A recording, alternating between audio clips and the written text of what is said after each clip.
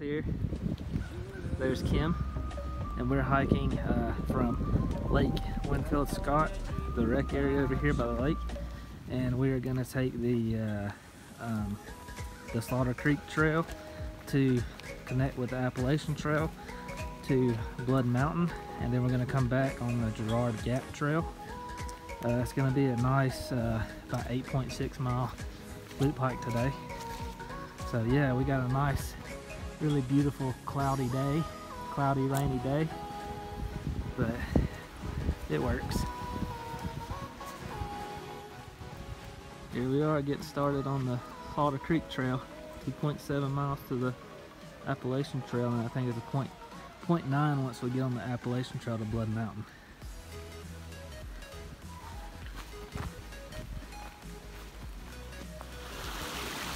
We are crossing the bridge over Slaughter Creek on this wet afternoon. We got some nice stone stairs going up the Slaughter Creek Trail. We're probably close to a mile to maybe the AT connector. But we're going uphill and it's uphill majority of the way.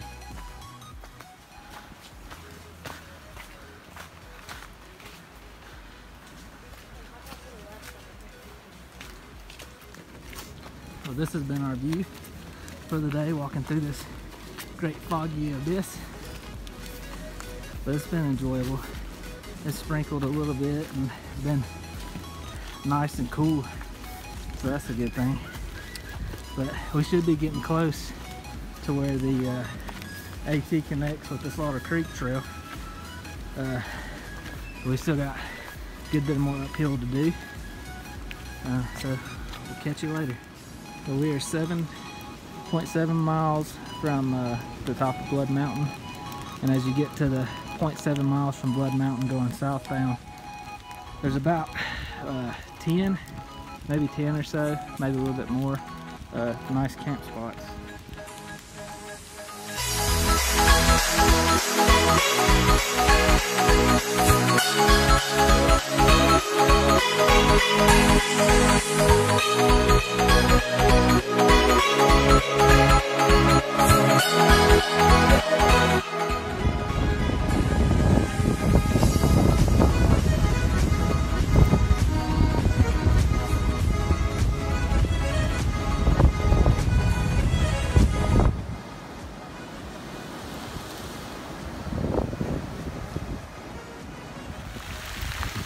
So we're back on the Appalachian Trail, about a mile from uh, uh, Jet Jarrard Gap Trail. And as you can tell, maybe you can tell, I don't know, but it's starting to pour down rain on us. Uh, but anyways, it's fun. It's cold. Uh, we met some interesting people today. Met a couple from Illinois. Drove 11 hours just to hike up Blood Mountain. So that's pretty cool. But yeah, we're gonna move so we can get out of this rain. So we're coming up on uh, the Jarrard Gap right up here. Uh, it's been a nice hike thus far. It's been really wet and some heavy winds. But we're getting to the crossing of Jarrard Gap and then we'll be headed back down the Jarrard, Jarrard Gap trail to our car. We are now going down the Jarrard Gap Trail and just a little bit of uh, information here. The Jarrard Gap splits off right there and comes down this dirt road um, off the AT. But if you keep if you keep following this dirt road, it'll actually take you back to the same place we're going, which is Lake uh, Winfield Scott. Um, but if you would rather walk the trail, you just take a left at these double blazes and follow the trail that way. But either way, you'll get back to the same place. And it's the same distance. We're about about two miles from uh, Lake Winfield Scott area. So we're hiking down the Jarrard Gap Trail and we come across some cabins out through the distance. We see three of them, but that's really cool. one more bit of information.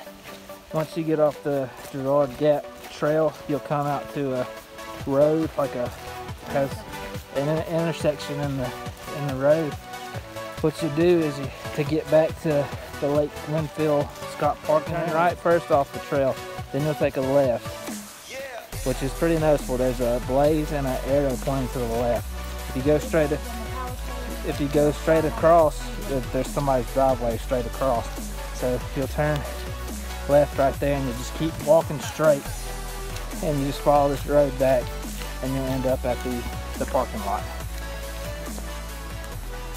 You'll pass a nice campground too um, off the road. And if you want to, you can follow you can follow the road. You can see it keeps going to the left right there. Or you can come across this bridge and follow the little campground trail back to Lake One Scott. I mean, it doesn't matter either way. But uh, they got a lot of nice tent camp spots. They got a bathroom, bathhouse up there. I don't know if that's a shower or not. I doubt it. But uh, really nice, really nice. Um, but yeah, cool place. Yeah, I think it costs ten dollars to rent to rent a to stay for the night up here though. Well, we have just finished our loop hike, and next just started to rain again. But we had a we had a nice hike, uh, about eight 8.6 miles. It was a nice little loop.